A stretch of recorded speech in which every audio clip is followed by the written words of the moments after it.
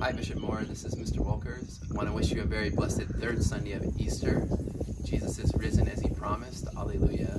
And in this Easter celebration, in this Easter season, we're celebrating the new life that God gives to us. So my question for you is, whose life are you living? Remember that Jesus promised us in John chapter 10 verse 10, I have come that you may have life and have it to the full. That was the, the reason that Jesus came, to give us life. So today, the underappreciated theological concept that I want to talk to you about is theosis. Theosis means sharing in God's life, becoming like God, or sharing in his nature. It's a very ancient uh, idea in the church. Goes all the way back to the apostles.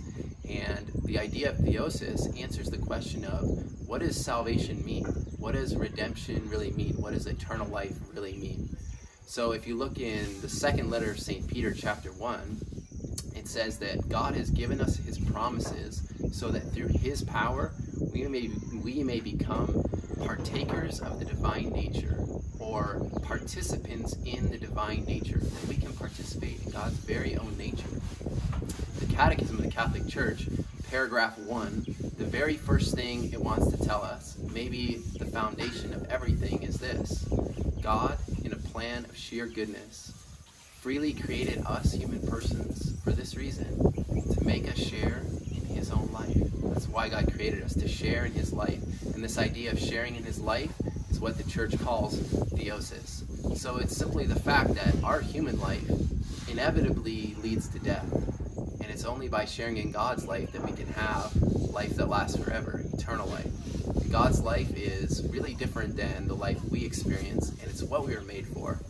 So, oftentimes when we think about salvation, we think it's about becoming morally perfect. Um, sometimes we hear us, we hear people say it's about becoming the best version of, your, of yourself. Fair enough. Um, sometimes when we think about that, becoming really perfect or becoming the best version of ourselves, we think that's too hard or it's too much. And I say actually that's far too little, right? The problem is that we underestimate what we were created to be. We underestimate what God made us for. This mystery of what it means that God created us to share in His life means that we were created for something far greater than what we think. So, what does it mean to share in God's life? We see it when we look at the heart of Jesus. So, the Sacred Heart of Jesus, His heart was a human heart, a human heart like yours and mine, but He loved with God's own love. So if God, a divine person, can take on an ordinary human heart like ours and love everyone in the world with that heart and save the whole world with that heart, then that means your heart and my heart are capable of something far greater than what we normally imagine. In fact, we're capable of loving the way Jesus loved. How did Jesus love? John 13, verse 1 says, He loved to the extreme, to the end we're capable of loving the same way that Jesus loved if we share in his life. In fact, we don't just love like him, we love with his own love because he fills our hearts with his love. Isn't that the life that you long for? Isn't that what you know you are made for? To love without limits, without hesitation, without expectations. To love in a way that's totally self sacrificing. That's the joy that we long for. We know that nothing else is enough for us.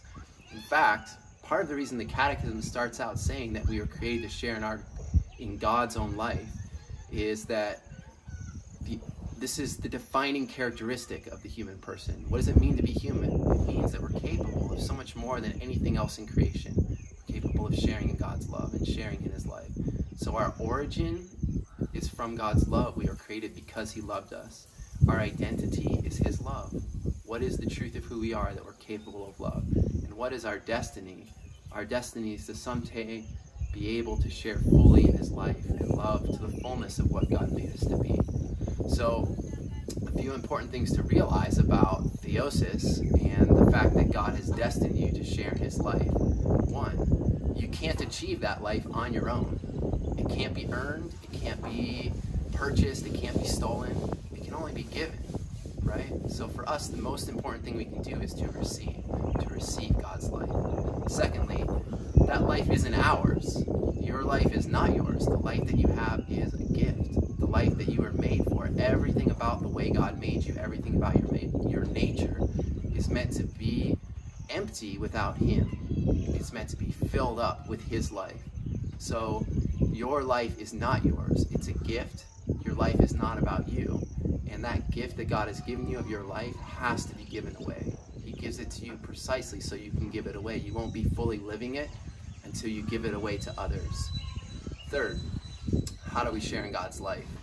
So Jesus shared in all of our realities, all of our suffering. He even shared in the reality of our death. Why did he do that? So we could share and participate in all of his realities. And where does that happen? In the sacraments of the church. In baptism, we die with Christ, we rise with him to a new life. The new life that we have because of his resurrection in this Easter season is the life of God. Most perfectly, we share in God's life in the Eucharist. In the Eucharist, God just doesn't send us a Hallmark card that says He loves us. He gives us His body and blood, His very own heart. He puts it in us. What does that mean? Certainly, what it has to mean is that we are now capable of sharing in His life. Whatever we go out and do, we're doing it with Him. He's doing it in us and through us. That's the beauty and the power of the Eucharist. That's the meaning of everything. That's why it's the source and summit of our life. One last thing. Who has participated most perfectly in God's life? Our Blessed Mother, Mary. She participated in all the mysteries of Jesus' life, and she made his life her own. Everything Jesus did and said, everything he felt and experienced, everything that he suffered, Mary suffered all those things. She allowed all those things to enter into her heart, to form her, and everything that she lived was a sharing in Jesus' life. So she's the one that shows us the way, and it's through her intercession and her prayer that we can learn to share in God's life. So I challenge you today to step into the adventure of living not just your own life that you make for yourself, but the life that God wants to give to you. And to reflect today on what life are you really seeking and whose life are you really living. God bless you all. Have a great third Sunday of Easter.